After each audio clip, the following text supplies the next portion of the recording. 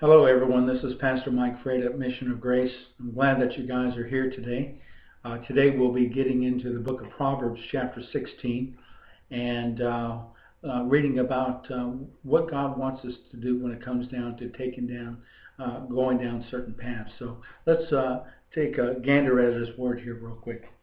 It says in 16, verse number 25, There is a way that seems right to a man, but its end is the way of death. You know, um, especially today, guys, and you know, we look over these last few weeks and last few months, and um, I, I can look back at my life in general and see that there have been a lot of pathways that I thought were right. You know, uh, I'm sure that you guys have done the same thing. You know, uh, you'll take a job and think that it's the right job. You guys will, you know, get married and think that that marriage is going to be the right marriage you know, you, you end up having kids and all this other stuff. Uh, you end up buying the house. You end up, uh, you know, getting a loan for a car. And, uh, you know, you think it's good. You think this is what God wants you to do. And you'll even say it, you know. You'll even say, well, God wants me to prosper. Or God told me that I can have a house, you know. And, and so you'll go ahead and do these things and come to realize within the next few months or uh, a year or so down the road uh, that this thing becomes a hardship, becomes like a chain around your neck, and and then within a few um, few more weeks or months or years, you end up losing everything. Uh, seems to be ways like that that are uh, countless ways. There's quite a few ways that seem right to a man, but they end up in death.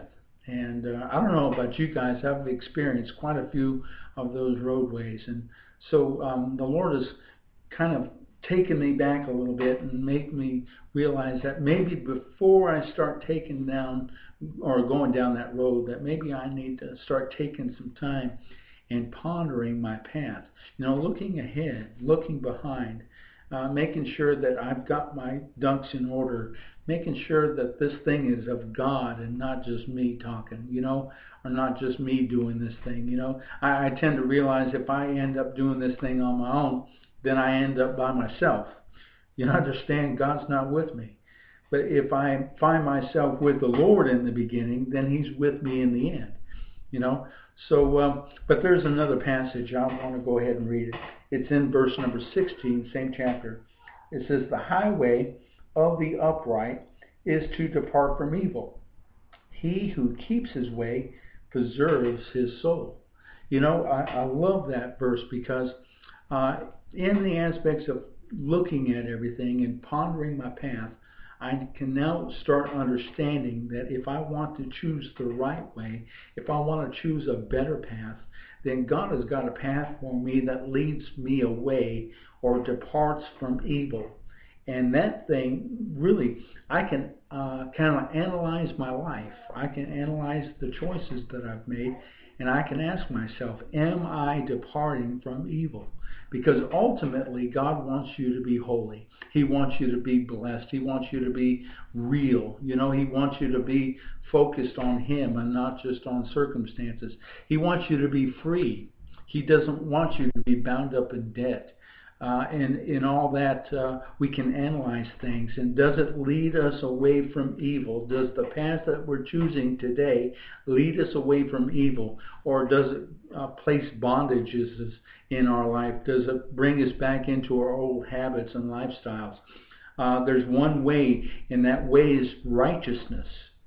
That way is godliness and holiness. It leads us away from evil. And then that last part says, and he who keeps his way preserves his soul.